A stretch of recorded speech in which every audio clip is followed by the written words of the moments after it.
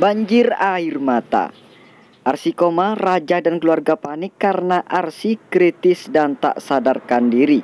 Drama Aku Mencintaimu Karena Allah. Halo pemirsa setia sinetron Aku Mencintaimu Karena Allah. Tentu berjumpa kembali masih bersama saya yang mana setiap harinya saya akan memberikan seputar ulasan dan prediksian untuk alur cerita sinetron Aku Mencintaimu Karena Allah. Oke baik di episode Aku Mencintaimu Karena Allah yang akan tayang kali ini. Setelah Dimas menembak Arsi tepat di hadapan Raja dan Iqbal Dimas langsung kabur melarikan diri.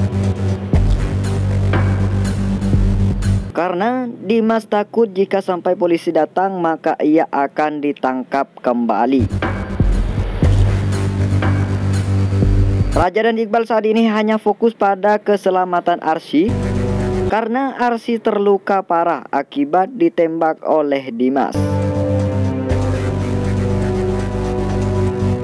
Raja juga sempat ingin kejar dan habisi Dimas karena Dimas telah berani menembak Arsi. Namun, Iqbal menahan Raja dan mengatakan keselamatan Arsi lebih penting untuk saat ini.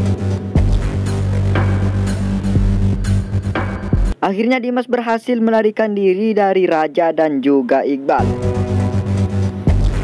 Raja dan Iqbal juga langsung bawa lari Arsi ke rumah sakit. Karena kondisi Arsi benar-benar sangat mengkhawatirkan.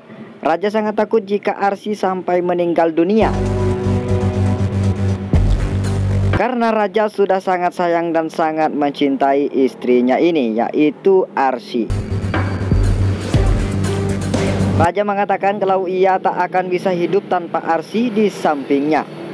Raja juga tak berhenti menangis dan berdoa kepada Allah untuk menyelamatkan Arsi. Iqbal berusaha menenangkan Raja saat di perjalanan ke rumah sakit. Namun apakah yang terjadi? Raja tak juga tenang. Raja sangat khawatirkan Arsi. Bahkan Raja tak pedulikan dirinya yang sakit juga akibat ditembak Dimas. Sebelum Arsi, tak lama kemudian akhirnya Iqbal Raja dan Arsi tiba di rumah sakit dengan cepat dan menahan sakit bahunya. Raja gendong dan bawa lari Arsi masuk ke dalam rumah sakit. Raja juga teriak teriak panggil dokter agar segera tangani Arsi. Suster dan dokter langsung bawa masuk Arsi ke ruang operasi untuk mencabut peluru yang ada di luka yang ditembak sama Dimas.